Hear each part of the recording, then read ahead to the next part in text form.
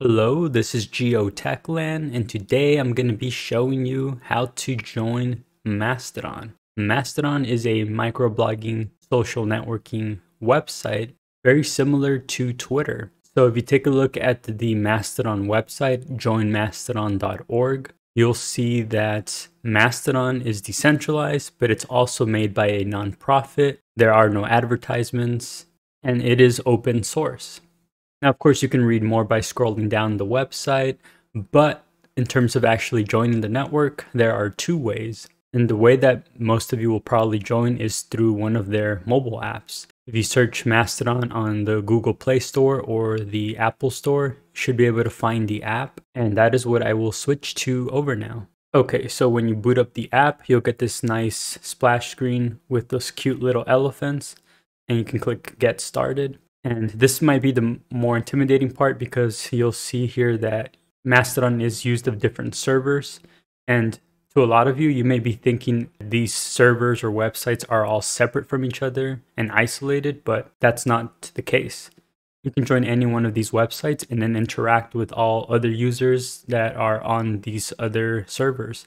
Similar to email, where you can create an account with Gmail, but still email people that have Yahoo or another email service. So I'm going to pick here just as a test mstdn.social and then you'll see that it'll explain the rules of joining the server. Each server will have slightly different rules.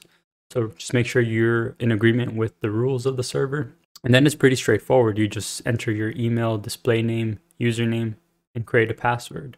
I'm going to go back though because I'm going to sign into my own server, which is fosstodon.org. And again, it is tech oriented. It's not like there's a rule where you have to only talk about technology. So here, once you sign into the app, you can uh, see the home timeline here. And then if you click the search bar, you'll see the discovery page here where you can view popular posts, popular hashtags. There's even a new section where you can see uh, trending news or just trending articles shared by other users and then the only part where like the local server that you choose comes into play here is that there is a tab where you can see what your local community is doing. So if you do happen to join like one of the art instances or servers, you'll see what everyone's posting there. And then there's a for you that I think randomly recommends what accounts to follow. But otherwise, it's a pretty simple, straightforward app. If I click on my profile here, you can view my page just to see what it's like. And then I can click this bell notification to view my mentions or replies or notifications here. So let's say you wanted to join directly on the website. Well, you're going to get a very similar feel here. You can click find server, and of course you're going to see all kinds of topics. But again, don't be intimidated by any of this.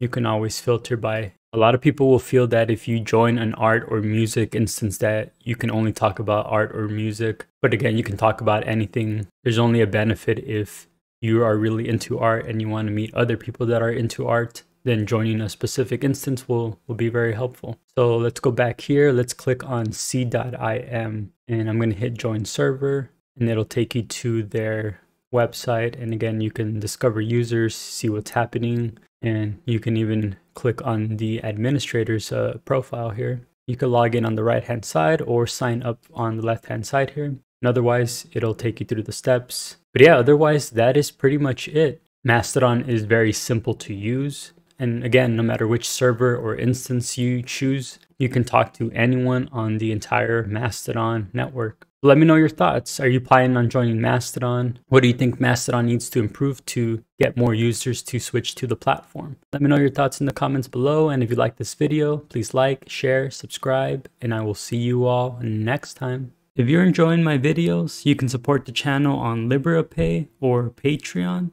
and check out some more videos on YouTube, Odysee, or PeerTube. And feel free to follow me on Mastodon or Twitter. See links in the description below.